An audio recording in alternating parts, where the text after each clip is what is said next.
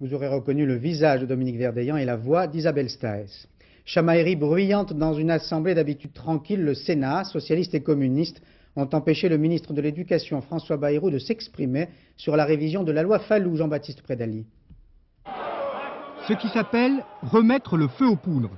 Une inscription surprise de la révision de la loi Fallou à l'ordre du jour du Sénat. Il n'en fallait pas plus. Réaction immédiate des sénateurs socialistes et communistes. Du coup, François Bayrou ne peut prononcer son discours. Séance suspendue. Au Sénat, c'est rarissime. Et à la reprise, sur la question scolaire, la gauche monte à nouveau au créneau.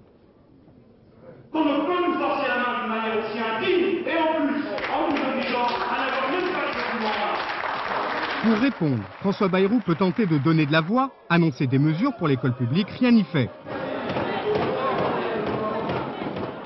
Déjà, en juin dernier, les sénateurs de gauche avaient mené l'offensive avec succès. Le projet de loi n'avait pu être adopté dans les délais.